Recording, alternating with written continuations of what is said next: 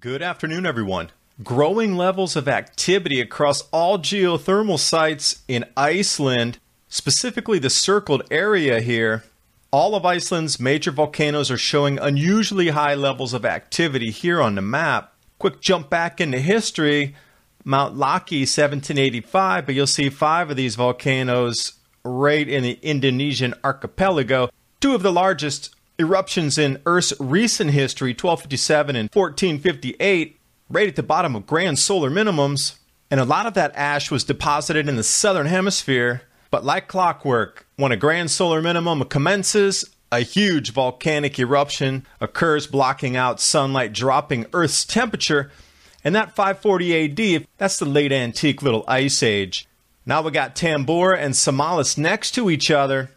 So you just need to ask yourself which one of these is going to go off as we commence into our new grand solar minimum starting right now. And while you're watching the video, please remember to subscribe to Adapt 2030.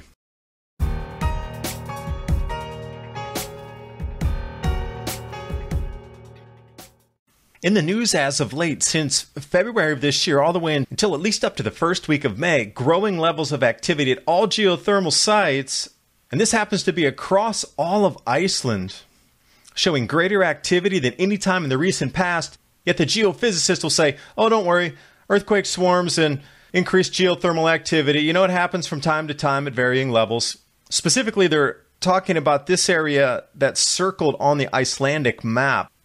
And now there's been another uptick where all of Iceland's major volcanoes are showing unusually high levels of activity. Most famous would be Katla. Look here on the map Bardarbunga, Hekla. You've heard these names before, you've seen them through history. And Hekla's gearing up for another eruption. When these blow, it absolutely affects agriculture across Europe and into Central Asia. Remember, when air travel was restricted due to an eruption out of Iceland as well.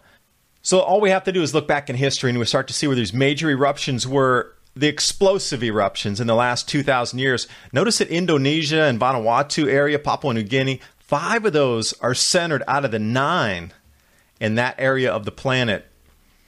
Now, on Tallbloke's Talkshop, he has a really good article there. The most accurate and precise reconstruction of historic volcanic sulfate emissions in the southern hemisphere and the two largest volcanic eruptions in Earth's recent history 1257, 1458. Charting these out, you're going to see it's right at the near bottom or bottom of a grand solar minimum, Wolf minimum, Sporer minimum.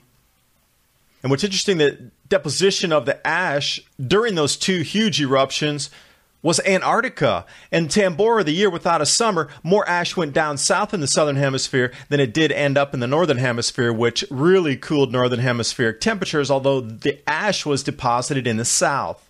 Now, taking a look side by side here, Tambora on the right and Samalas, they're only one island separated, and these two most explosive volcanic eruptions in Earth's timeline over the last 2,000 years sit right next to each other.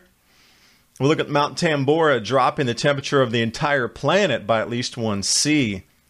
Now we get into rewriting the entire history of volcanic forcing, really how much influence this has had on blocking out sunlight and dropping Earth's temperature.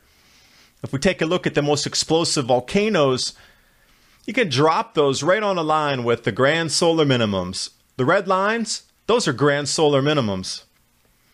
And specifically taking a look at the Samalas eruption, this is how much Earth's temperatures cooled due to that one volcano. Looking back in time at the solar activity and the climate, you can map out when the grand solar minimums were. It's hard to see through all the noise, so let's clean that up right there. And as we're dropping into grand solar minimums, these eruptions occur like clockwork.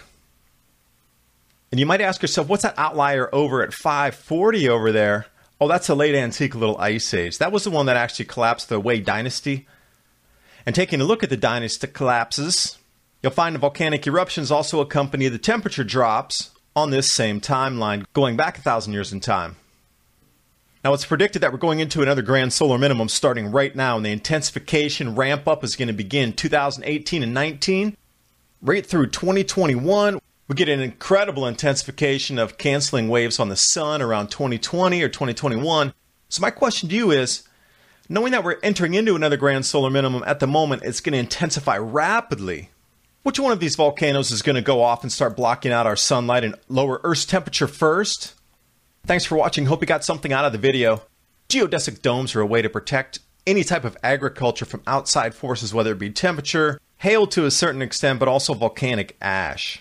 Foodforliberty.com offering grow domes from 202 up to 775 square feet with a full 9.5 feet of headroom. And you can layer that due to the geodesic shape. You can see a lot of different information online. The cover provides R3 insulation and helps keep the interior warm, thereby extending growing seasons a month on either side.